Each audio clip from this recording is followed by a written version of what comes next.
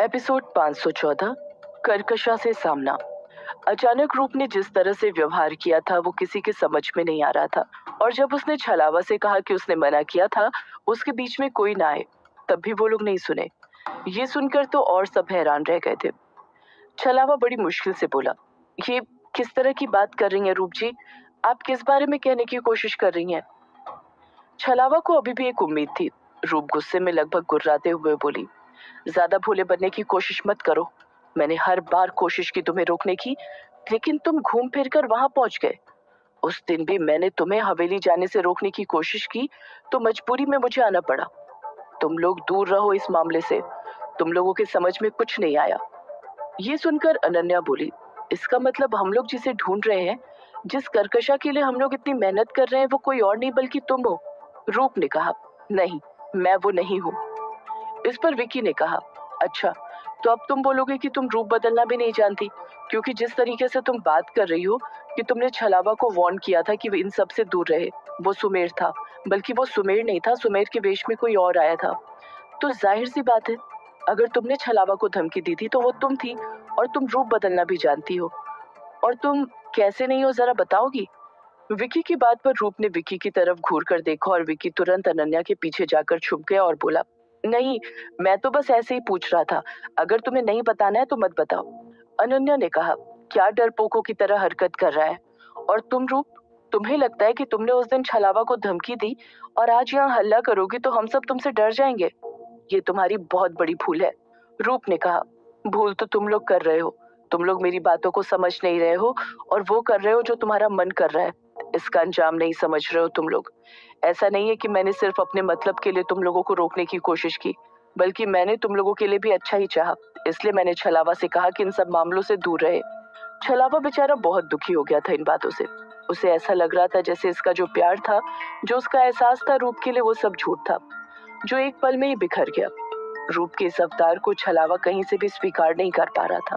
उसे अभी भी लग रहा था जैसे उसके साथ कोई मज़ाक हो रहा हो, या रूप बोलेगी कि वो मज़ाक कर रही थी। जैसा कि वो हमेशा अपने मजाकिया नेचर से करती है। छलावा की आँखें भीगी हुई थी और वो एकटक रूप की तरफ़ देख रहा था। लेकिन रूप तो जैसे इस वक्त छलावा की किसी भी एहसास को या तो समझना ही नहीं चाहती थी, या इस वक्त समझना ज़रूरी नहीं समझती थी। जिस रूप को छलावा इतना पसंद करता था उसकी मासूमियत उसकी चंचलता वो सब एक पल में ही इतने डरावने रूप में सामने आ गई थी। अनन्या ने छलावा की तरफ़ देखा और वो उसके नज़दीक गई और उसके कंधे पर हाथ रखती हुई बोली, हम जिस दुनिया से आते हैं छलावा, वहाँ पर इस तरह की चीज़ें होना कोई बड़ी बात नहीं है। ये एहसास, ये भावनाएँ कब कैसा रूप ले ले कोई नहीं जानता। इस वक्त तुम्हारे कमज़ोर पड़ने से काम नहीं चलेगा। अपने आप को मज़बूत कर और ये जो कोई भी है ये जो भी चाहती है, जिसके लिए उसने तेरी भावनाओं के साथ खिलवाड़ किया है, उसका हिसाब तो हम लेकर रहेंगे। तभी ध्रुव की आवाज़ आई, लेकिन उससे पहले मैं ये जानना चाहता हूँ कि ये जिस लड़की का रूप लेकर आई है, वो लड़की आखिर है कहाँ? कहीं उसने उस लड़की के साथ कुछ गलत तो नहीं किया है? बताओ, क्या तुमने उस लड़की को मार दिया? अचानक ध्रुव की आवाज़ पर सब हैरानी से उसकी तरफ़ देखने लगे, और यही हाल रूप का था। रूप बोली, ऐसा कैसे हो सकता है? तुम तुम मेरे हिप्नोटिज्म से बाहर नहीं आ सकते। मैंने तो तुम्हारे दिमाग को पूरी तरीके से अपने कंट्रोल में किया था। फिर तुम अपनी जगह से कैसे हिल सकते हो? इतना कहते हुए रूप अनन्या की तरफ़ लपकी। उसकी कोशिश थी कि वो अनन्या को अपने काबू में ले लेगी और ध्रुव पर काबू पा जाएगी। लेकिन इससे पहले कि वो अनन्या तक पहुँचती, एक तेज रोशनी का झोंका उसे अपने नज़दीक महसूस हुआ, जिसने उसे उठाकर दूर फेंक दिया। उसने देखा कि ध्रुव ने उसकी तरफ़ अपना हाथ किया हुआ है और वो रोशनी का झोंका उसी के हाथ से निकल कर आ रहा था। वहाँ मौजूद सब ये देखकर हैरान थे, क्योंकि ऐसा कुछ महीने पहले तो कभी नहीं देखा था। विकी आश्चर्य से बोला, कमाल है, ये क्या था? अनन्या बड़ी शांति से मुस्कुराती हुई बोली, तुम्हें क्या लगा, ये जो भी है इसकी मामूली हरकतों से ये ध्रुव को हरा देगी? रूप तब तक उठकर खड़ी हो गई थी और गुस्से में गुर्राती हुई ध्रुव की तरफ़ बढ़ने लगी थी। लेकिन जितना वो ध्रुव के नज़दीक बढ़ने की कोशिश करती, उसे लगता जैसे ध्रुव के साथ उसकी दूरी उतनी ही बढ़ती जा रही थी और धीरे धीरे करके उसके पैर पीछे खिसकते जा रहे थे।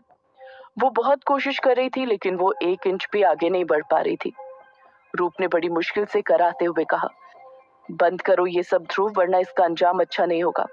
तुम्हें क्या लगता है अपनी पावर के सहारे तुम मुझसे जीत जाओगे? तो ये तुम्हारी बहुत बड़ी भूल है।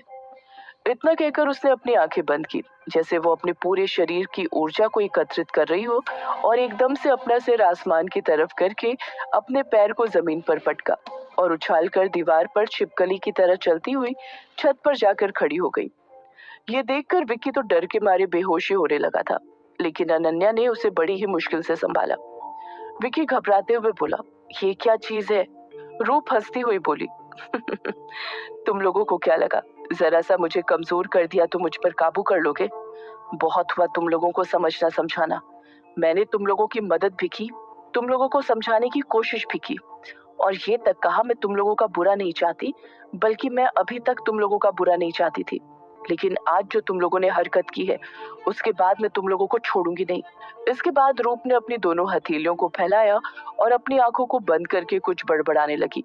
और जैसे जैसे वो बड़बड़ा रही थी वैसे वैसे चारों तरफ़ शोर बढ़ता जा रहा था। उन लोगों ने देखा चारों तरफ़ से चमगादड़ों का झुंड उन लोगों पर हमला करने के लिए तैयार था। ये चमगादड़ सामान्य से अलग है। उनकी आँखें लाल बल्ब की तरह जल रही थी। रूप ने जैसे ही अपने हाथ नीचे किए, वो सारे चमगादड़ एक साथ उन लोगों पर टूट पड़े। विकी चीखता हुआ बोला, ध्रुव, मेरी मदद करो। तभी उन लोगों की नज़र तारा पर पड़ गई।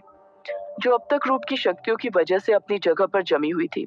ध्रुव तुरंत तारा के नज़दीक गया और उसके सिर पर हाथ रखकर हल्का सा दबाव बनाकर बोला, तारा, होश में आओ, तुम यही हो।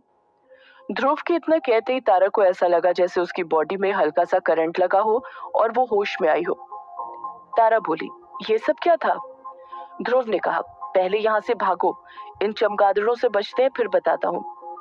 वो लोग इधर उधर भागकर उन चमगादड़ से बचने की कोशिश कर रहे थे। दिलीप काका का घर छोटा सा था। दो कमरे थे, एक बड़ा आँगन था, एक रसोई। उसमें भी एक कमरे में ताला लगा हुआ था और दूसरे कमरे में दिलीप काका लेटे हुए थे। और ये लोग अभी आँगन में ही रूप के साथ लड़ने में लगे थे। अंत में इनके पास दिलीप काका के कमरे में भागकर जाने के अलावा और कोई ऑप्शन नहीं था। दोस्तों, जल्दी एक साथ दिलीप काका के घर के कमरे में चलो और जाते के साथ ही दरवाज़ा बंद करेंगे। विकी ने कहा हम यहाँ से निकल जाते हैं ना वैसे भी इसको इसी बात की दिक्कत है कि हम यहाँ क्या कर रहे हैं? ये बाद में सोचेंगे कि उसको क्या दिक्कत है। लेकिन अभी तो अपनी जान बचाए। ध्रुव बोला नहीं विक्की हम जहाँ जाएँगे चमगादड़ हमारे साथ जाएँगे। और मैं नहीं चाहता कि हमारी वजह से बाकी लोगों को किसी तरीके का कोई नुकसान पहुँचे। बस एक बार मैं तुम लोगों को कमरे में What a crazy day it's been. I just got back from night shoot and I have to head to. सुरक्षित पहुँचा दो। उसके बाद मैं उसको देखता हूँ। ध्रुव सबको लेकर कमरे में जैसे ही पहुँचा, उनकी आँखें हैरानी से फटी की फटी रह गई। उन्होंने देखा दिलीप काका छटपटा रहे हैं और उनकी आँखें बड़ी हो गई हैं। ऐसा लग रहा था जैसे वो बहुत तकलीफ़ में थे। ध्रुव और बाकी सब पर नज़र पड़ते ही उनकी आँखों में ज़िंदगी की एक रोशनी नज़र आई, लेकिन वो कुछ बोल ही नहीं पा रहे थे। तारा ने कहा, ये क्या हो रहा है? तभी ध्रुव ने गौर किया, दिलीप काका अपनी आँखों की पुतलियों को अपनी दूसरी तरफ़ घुमाकर कुछ इशारा करने की कोशिश कर रहे थे। ध्रुव ने उस तरफ़ देखा तो उसे ध्यान आया कि दिलीप काका की गर्दन में उसी तरफ़ वो जख्म था। ध्रुव ने कहा, अनर्थ हो गया दोस्तों, जिसका डर था वही हुआ, वो यही है। विकी ने कहा, वो तो हमें भी पता है कि रूप यही है। ध्रुव ने कहा, रूप नहीं, वो करकशा, वो यही है। तारा ने हैरानी से कहा, इसका मतलब रूप, वो करकशा नहीं है? तभी पीछे से रूप ने कहा, नहीं यही तो मैं तुम लोगों से कह रही थी कि मैं वो नहीं हूँ। और अगर तुम लोगों को मेरी बात पर अब भी यकीन नहीं है तो ये देखो। इतना कहती हुई रूप ने अपने दोनों हाथों को ऐसे हिलाना शुरू किया, जैसे वो कुछ टाइप कर रही हो। असल में वो चारों तरफ़ कुछ फैलाने की कोशिश कर रही थी। कोई माया फैला रही थी हल्की हल्की धुंध बनने लगी। धुंध में डरावना चेहरा नज़र आया, जो इंसानी हड्डियों को डराने के लिए काफ़ी था। वो दिखने में मात्र हड्डियों का ढांचा था, जो दिलीप काका की गर्दन पर झुका था। उसका चेहरा बिल्कुल सफ़ेद था। ऐसा लग रहा था जैसे कि उसके पूरे चेहरे पर किसी सफ़ेद चीज़ का लेप लगाया गया हो। बिल्कुल काली आँखें, जिनमें पुतलियों का कोई नामो निशान नहीं था। चेहरे पर नाक नहीं, कान भी नहीं। वो अजीब लग रही थी। जैसे ही उसे अपने आसपास लोगों का एहसास हुआ, उसने अपनी गर्दन उठाकर सामने की तरफ़ देखा। उसके होठों से टपकता खून और दांतों में लिपटा हुआ दिलीप काका के मांस का एक टुकड़ा, जिससे स्पष्ट लग रहा था कि उसने दिलीप काका को खाने की प्रक्रिया शुरू कर दी थी। शायद दिलीप काका के शरीर का खून अब तक वो पी चुकी थी। बड़ी ही घिनौनी अंदाज में चमड़े के टुकड़े को चबाती हुई अपने भयानक होठों से मुस्कुराकर इन लोगों की तरफ़ देख रही थी। इसे देखकर तारा को उल्टी आने लगी। ध्रुव ने तुरंत तारा को संभाला और बोला, संभालो तारा। तारा बोली, ये होती है करकशा? ये क्या है? रूप बोली, ये एक नरभक्षी अभिशाप है। पिशाचों की तरह खून पीती है, इसलिए उन्हें पिशाच की श्रेणी में रखा जा सकता है। और इनका नाम कर्कशा इसीलिए है, क्योंकि इनकी वाणी इतनी कर्कश है कि एक बार चीख कर ये सैकड़ों लोगों को मार सकते हैं। तारा ने कहा, वो तो हम जानते हैं, वो तो हमें ध्रुव ने बताया था। तभी कर्कशा दिलीप काका की छाती पर पाँव रखकर कूदती हुई इन लोगों के सामने आकर खड़ी हो गई और बारी बारी से इन सबको देखने लगी और अचानक उसकी नज़र रूप पर जाकर अटक गई और रूप की तरफ़ अपने कदम बढ़ाने लगी। ये देखकर सब एक तरफ़ हो गए और घबरा कर देखने लगे कि आखिर हो क्या रहा है। वो रूप के नज़दीक गई और उसकी गर्दन पर अपनी उंगली से खुरचती हुई उसके कानों के पास जाकर कुछ फुसफुसाने लगी। रूप ने डरते हुए उसकी तरफ़ देखा और इससे पहले कि रूप कुछ कर पाती, वो उसी तरीके से कूदती हुई खिड़की के बाहर चली गई। रूप अभी भी उसी तरीके से गुस्से में बड़बड़ाती हुई खड़ी थी। वो दिलीप काका की तरफ़ बढ़ने लगी थी। सबका ध्यान दिलीप काका की तरफ़ गया। तारा लगभग रुआसी होकर बोली, ये क्या हो गया? हम इन्हें नहीं बचा पाए। और ये सब कुछ तुम्हारी वजह से हुआ है रूप अगर हमने समय पर इनके आसपास सुरक्षा घेरा बना दिया होता तो आज उनकी जान बच जाती। तुम्हारी वजह से एक इंसान की जान चली जाएगी, तुम्हें शर्म नहीं आती। रूप गुस्से में तारा की तरफ़ अपने कदम बढ़ाती हुई बोली, ये सब तुम लोगों की वजह से हुआ है।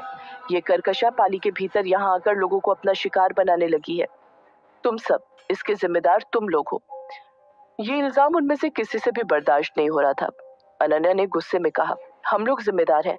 जरा हम भी तो सुने कि हम किस तरह से जिम्मेदार हैं।